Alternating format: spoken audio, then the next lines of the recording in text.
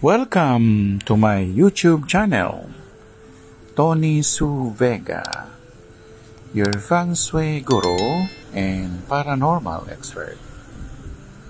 Horoscope Taurus, April 20 to May 20, Thursday, May 9, 2024. It is all about the major canum number 3, the Empress.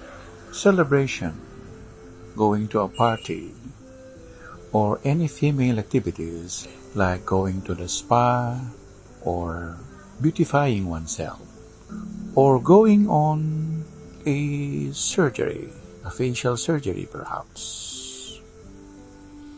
Ang araw pong ito ay horoscope ng Taurus, April 20 May to May 20, Webes, Mayo 9, 2024, may kinalaman sa Emperatriz.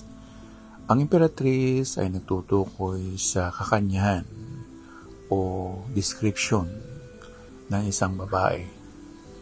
Pwede rin ito ay may kinalaman sa pagdiriwang o celebration o pagbibigay lugod sa magitan ng aesthetic value ng isang babae o ng isang tao pagpapaganda, pagpunta sa spa.